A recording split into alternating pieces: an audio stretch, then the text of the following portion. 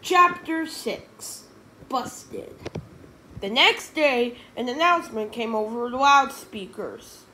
George Spear and Harold Hutchins, please report to Principal Crump's office at once. Uh oh, said Harold. I don't like the sound of that. Don't worry, said George. They can't prove anything.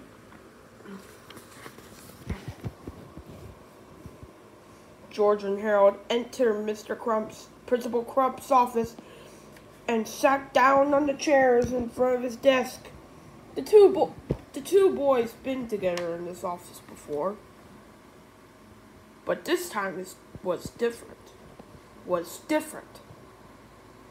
Mr. Crump was smiling.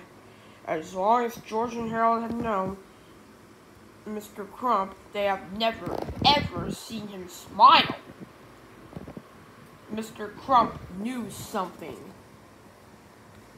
I didn't see you boys at the big game yesterday, said Mr. Crump. Uh, no, said George. We weren't feeling well. Yeah, yeah, yeah, Harold stammered nervously. We, we, we went home. Oh, that's too bad, said Principal Crump. You boys missed a good game. George and Harold quickly glanced at each other, gulped, and tried hard not to look guilty. Lucky for you, I have a videotape of the whole thing, Mr. Crump said. He turned on the television on the corner and pressed the play button on the VCR. A black and white image, image appeared with the t- on the TV screen.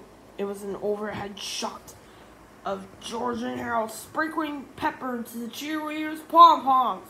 Next came a shot of George and Harold pouring liquid bubble bath into the into the marching band's instruments.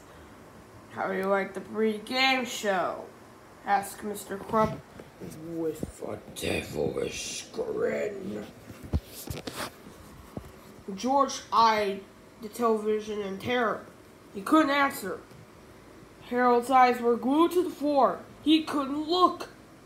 The tape went on and on, revealing all of George and Harold's behind the scenes antics. By now, both boys were lying on floor, screaming nervously and dripping with sweat.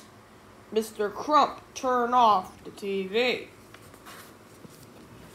You know, he said, ever since you boys been to the school, it's been one prank after another.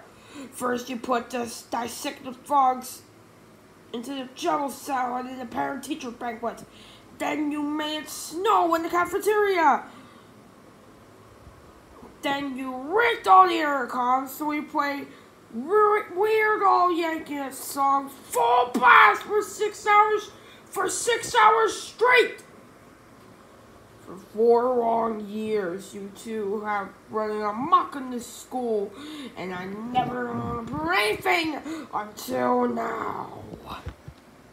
Mr. Crump held the videotape in his hand.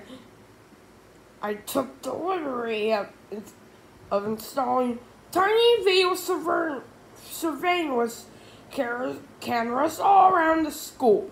I knew I'd catch you, catch you two in the act one day. I just didn't know it would be so easy.